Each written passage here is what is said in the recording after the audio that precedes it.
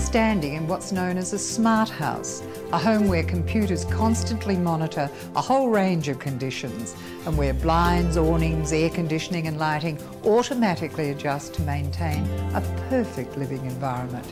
It's also one of the most expensive houses in Australia, three levels of total luxury, and it's home to recruitment industry doyen Julia Ross.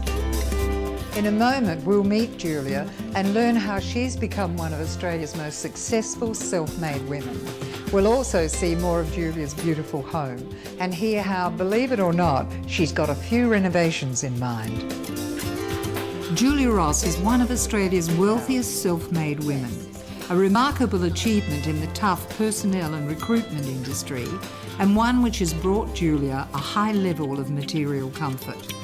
But success and good fortune haven't simply fallen into Julia's lap. She's needed focus to achieve her place at the very top of the corporate ladder.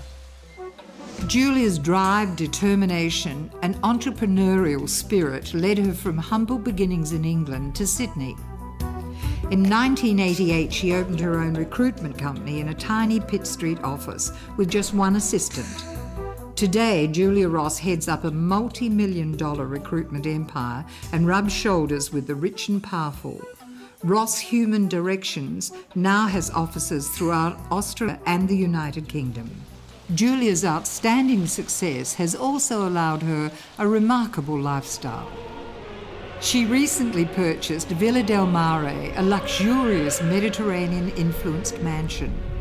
At just $21 million, it's one of Australia's most expensive homes.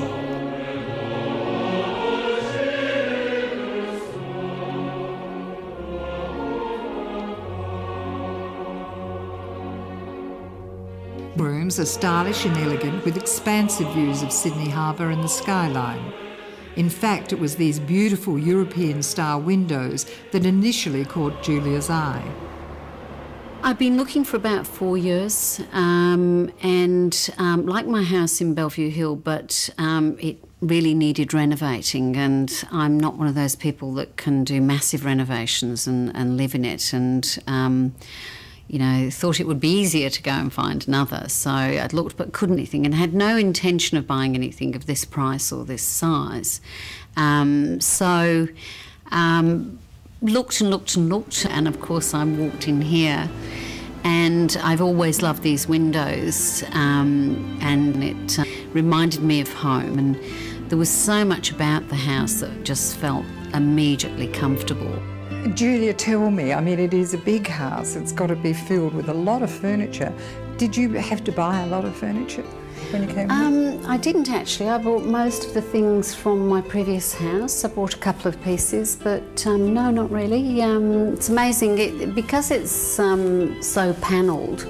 Um, you don't actually need a lot. In fact, I probably would like to simplify the rooms down even more um, because I think the house is lovely on its own. I yes. think uh, less is more in a house like this. Julia was born into a large working class family in Staffordshire, a tough mining district in northern England. St Julie Mary Strange, she was the youngest of eight children. Her father was a builder on a modest wage. With so many mouths to feed, money was often scarce. But despite the frugal times, Julia recalls her early childhood with fondness. What are your strongest memories about those days? Probably all of the children um, fighting, I suppose, running around, throwing water over one another or doing dreadful things, and yeah. mother trying to corral us. And then because it was England gathering around the fire and really talking about what we were going to do when we grew up, that was, you know, the best part. Was it tough at any time? Yes, um, unfortunately, my mother left um, my father and um, took us with her, so that was extremely tough. she, was, she was pretty courageous, wasn't she? Yeah, she's um, a bit formidable, my mother. yes. And how did she manage? Um, well, the older ones, of course, could um, contribute. They were already grown up. Um, some of them were at work, mm. and um, some of them were able to help with the younger ones like me. Mm. Um, so in that way, she she managed the situation, but it certainly threw us into a little bit of financial trauma. Those strengths that you saw in your mother, did they inhabit the rest of your life? Um, I don't know that um, it was witnessing um, mother that much because uh, the gap was so big that my, um, particularly one of my sisters, uh, spent a, a lot of time with me and had a huge influence on me. Even as a young woman, Julia showed signs of being a high achiever. After leaving school, she became a desk clerk with a local construction company, hiring out forklifts and other machinery. Julia's intellect and ability were quickly recognised and she was rapidly promoted through the ranks. But after 10 years in the construction game, Julia decided to change careers. She landed a job with the British recruitment firm Alfred Marks. Was it a defining moment for you moving into that industry? Did you suddenly think, I'm home, this is where this is where I'm going to spend the rest of my life in this business? Um, not really. No. Um, I think my life has always sort of ebbed and flowed. People think I had some grand plan um, at various parts of, of my life, and it's quite scary when I say, um, "Well, I didn't really." Um, I just kept, just you know, putting one foot in front of another and um, working hard and, and doing what I do. Julia's dedication paid off. She was transferred to Sydney as head of Alfred Marks Asia Pacific operations. It was a senior role and a gob. She had a company house, a company car, and made some great friends. Julia even got married. She was settled in Sydney and on top of the world, but then a row with her boss shattered everything. The guy I worked for was the sort of person who put his feet up on the table um, most of the day, and um, I was running around um, doing most of the work. So mm. one day we had a little clash, and I, um, being headstrong like I am, put my keys on the table and said, Well, if that's how you feel, goodbye. yes. Only to realise that the keys to my house and my car and were they were on the same keyring. Um, and I'd uh, unfortunately split up with my husband a little um, while before. Did you try to revive the marriage? Yes, because I'd I'd flown back to England in between time and mm. um, went to see my best girlfriend. You know, I'd come out to Australia. I liked it, and um, but of course I'd put the keys on the table. So um, no job and no marriage. So I, I went back and said, uh, "What do you think I should do?"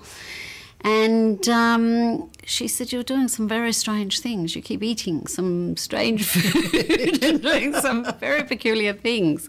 Um, will you please do a test and just check that you couldn't be pregnant? And um, sure enough, uh, yes, I was. So I flew back um, to Australia to try and um, make um, amends and um, you know have a go at the marriage, but uh, unfortunately it didn't work. Mm. So then I was back in Australia um, with no job, no house, no car, Barefoot no and husband, and pregnant. Gosh, it's a triple whammy, isn't it? With no job and few prospects because she was pregnant, Julia took the biggest gamble of her life. She sold everything she owned, raised $100,000, and started her own recruitment business. It was in 84 mm. Pitt Street. That was the, the, first little space that we had. We used to run across the room and put the phone in, in the drawer to pretend we had a switchboard and sort of all sorts of stuff. So that was quite um, quite good fun, but very worrying, very concerning times. Um, I was very worried that I was going to run out of cash because uh, it's a negative cash flow business. Mm um, when you're renting temporaries out, particularly, and you're paying their wages and then waiting for the client to pay you. So your money gets eaten up quite fast. So, how did you cope as a single mum? Um, it was extremely difficult to start off with, um, and again, a very um, traumatic time life. I think um, James wasn't particularly a good sleeper, but whether that's because I was so stressed yes. and causing that, I don't know. But um, staying awake most of the night and um, then having to go to work um, became very, very difficult. So that was um, particularly stressful. You had a nanny for James? I did, but she worked during the day when I was at work and brought him to me, um, you know, for me to feed, or I'd run up Quarry Street to feed him where I lived at the time. So um, she sort of clocked off um, after daytime, so that was quite hard to get home and uh, look after him during the night and then work all day. Coming up, talks about growing her fledgling business, her struggle to list on the Australian Stock Exchange, and the attitude of some serious suits at the big end of town. Very often they would direct all their questions at all the males in the room. The board had only been with me for a few weeks, so I don't know who they thought had been running the company for the last sort of 12, Whatever. 13 yes, years. And Julia reveals as a boss, she can be pretty tough. Unless someone sets the standard, um, you know, things will find their own level, and often that won't be the sort of level that you want them no. to find. That's coming up when we return home with the inspirational Julia Ross in her truly remarkable home right after the break.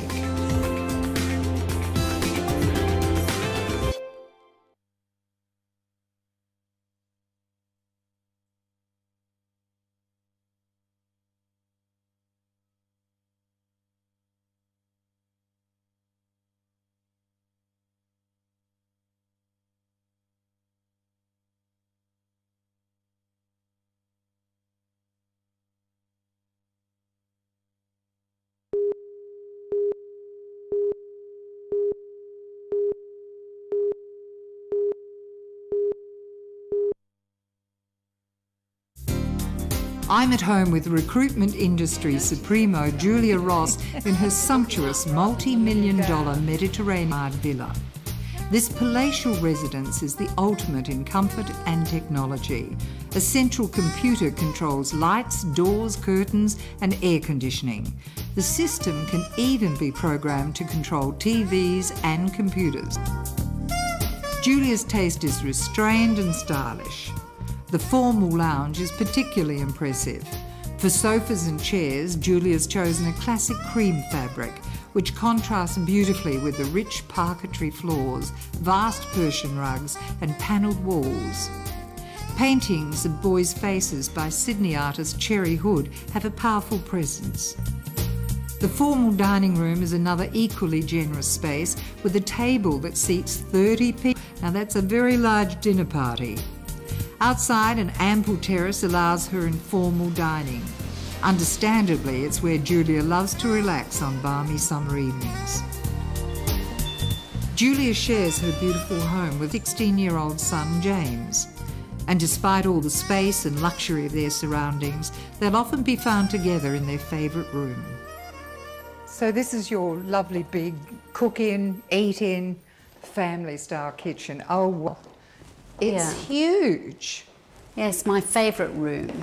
Well, have a look at the view too. I mean, that's not too shabby, Julia. no, it's lovely and it's particularly wonderful at night. You can see the city in North Sydney and you can look back on the house and see the lights it's and any reflected. movement. Yes. Despite her success and now considerable resources, Julia still draws deep satisfaction from life's simple pleasures like a few hours with a good book by the pool. On weekends, she's often in the kitchen, cooking up a storm for mates, giving son James a sense of family by simply being a mum and connecting him with her family of friends. I have a team of uh, my friends that generally come over on a Saturday night and I cook, um, and um, we sit in the kitchen and sort of uh, share some nice um, pasta and wine or something together. Are you a good cook? Not too bad, I think. Yeah. I love um, kitchens where the family can be there. They can, you know, James can come and throw himself on the sofa and watch TV, and um, I can have friends around. It was back in 1988, while pregnant with James, that Julia decided to risk everything and her own recruitment agency. As a single mum and sole breadwinner, the early years were tough with long hours, lots of stress, and little sleep. But with characteristic determination, Julia nurtured her business, building an enviable reputation as a dependable quality recruitment service. Julia continued to hone her business skills and in later years made a number of extremely astute decisions. In September 2000, after exhausting and intensive preparation, she listed her company on the stock exchange. The move netted Julia a vast financial windfall and made her one of Australia's wealthiest women. Then in 2004, she had the Spherion Group, her major competitor. I guess then um, taking on such a major acquisition um, sort of frightened everyone again. Um, so um, everyone sat back and said, well, um, now what on earth is she doing? Has she gone completely um, insane? But uh, I think it was a brilliant move, it and I think uh, we've done a great job to have a company now turning over 360 million um, and having a diverse range of products. Tell me about those products. What I've been uh, trying to achieve is that if you are a, a director of um, people in an organisation, whatever your position is, um, that all of the services you would need, that we have built that service um, to be available for you. But being a successful businesswoman has its challenges. Julia's battled sexism most of her working life, first in the construction industry and more recently when she listed her company on the stock exchange in 2000. I have to say, I had no idea of the work involved mm. to prepare the company to have everything in perfect order um, to list on the stock exchange, the regulations around that. So that was a lot of work. Um, very traumatic because we were to list in the March and then there was the technology crash. So we couldn't come to market and I'd probably spent a couple of million preparing um, through due diligence. So very stressful. And then um, I sat and waited and uh, in the August September time there came a little window that we thought we might just squeeze it through. Uh, I got out there selling the stock and uh, for about two weeks you race around town and see about 10 people a day and try and sell mm. the stock to the institutions and uh, that's mega stress mega stress. that's mega stress also because shoot again of the suits isn't it? Yeah. Tell me well, um, I'd appointed the board um, previously, uh, so we uh, had some very experienced uh, board members. Alan McDonald's my chairman, and he's a wonderful man. And um, of course, I took my CFO along to the um, meetings, who's uh, male as well and um, very often they would direct all their questions at all the males in the room. the board had only been with me for a few weeks, and they were sort of like, "Well, I think knows the answer to that." So I don't know who they thought had been running the company for the last sort of 12, Whatever. 13 years. So did you feel ignored by those serious suits? Did you? I have to say that I sat back and thought, whatever sells the stock, I mean, who cares? Um, if they want to listen to um, other suits, I, I really wasn't worried. Personal integrity is very much a part of the Julia Ross philosophy. She's passionate about her business and absolutely committed to providing the best possible service to clients. And Julia admitted she has high expectations of her staff. I think I'm tough on um, service levels. I think I'm very um, focused on getting it right for the client. Mm. Um, and I don't think there's anything wrong in expecting that of your staff. I think unless someone sets the standard, um, you know, things will find their own level, and often that won't be the sort of level that you want them no. to find. So, yes, I am um, tough. I, I am known to walk through reception and um, pick sweet packets up and and um, do things like that. I, I, like the place to look good and run efficiently. Um, the phones to be answered correctly and for clients to be handled as they should, and particularly candidates when people come in looking for jobs. Now at the top of the corporate tree, Julia has money, power, and influence. She's a generous supporter of charities, seen here introducing US President Bill Clinton at a fundraising dinner for the Prince of Wales Medical Research Unit. So, what is the secret to Julia's success? It seems that passion and a strong belief in herself are key ingredients.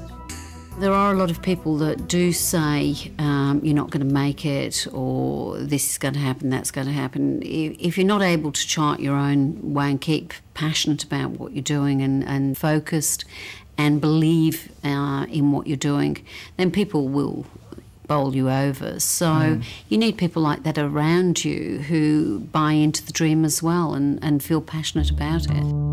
But despite all the trappings of success, and her luxurious home, Julia confided she finds very little lasting happiness in materialism. None of it uh, really brings ultimate um, satisfaction, I think. Uh, it's. I think I had um, just as much fun um, when I had none of those things um, as I have now, and uh, for me, um, being able to laugh and share great times with friends is far more important. Are there any ambitions that you still dear, things that you haven't done that you want to do? Just to see my boy um, grow up and uh, watch him for as long as possible um, and just see what he does with his life mm. um, is my greatest ambition just to, to watch him.